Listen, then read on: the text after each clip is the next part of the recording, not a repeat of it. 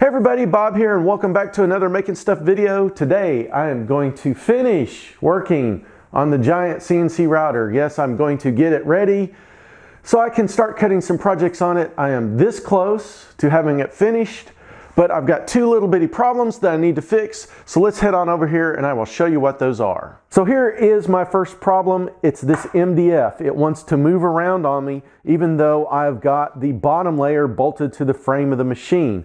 This top layer is just sitting here and I need to fasten it to this bottom layer somehow. Now I thought about putting screws through the top layer of MDF into the bottom layer, but that just presents things that a router bit could hit when I make a mistake, even if I countersink it. So I don't want to do that.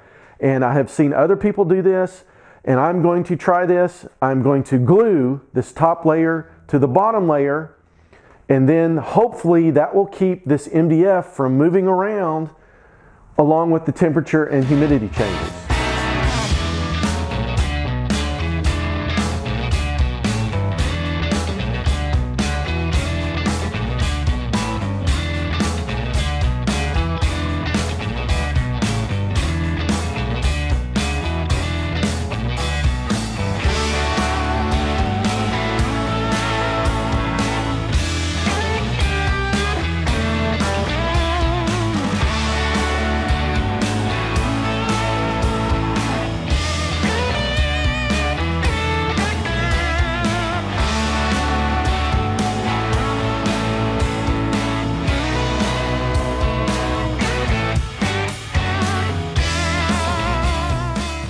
All right, so I've got the top and bottom layers glued together and I've given them 24 hours to dry. And now this top layer is not flat. And I know it's not flat because when I put my straight edge on here, you can obviously see that it wants to seesaw back and forth. And then I can also move it down a little bit. And now it doesn't seesaw when I push on the edges, but you can see there's a pretty big gap underneath this straight edge. So the straight edge has shown me that the table is definitely not flat, but I don't know how bad it is. So what I've done is I've taken my dial indicator and I've just made this little shaft for it. And this is quarter inch, so I can mount this into the spindle of the machine and then move it around and I can see just how bad the table is. And I can also find the high point and the low point. All right, so I've moved that dial indicator all over the surface of this table and I have found that right here is the highest point of the table and right here is the lowest point of the table. So this side of the table is definitely worse than that side over there.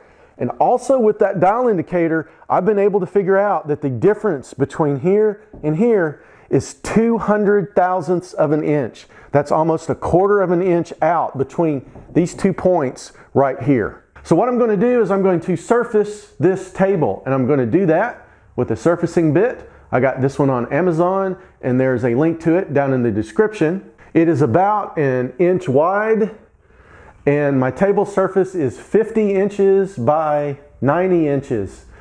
So this bit has to travel over the entire tabletop to surface it.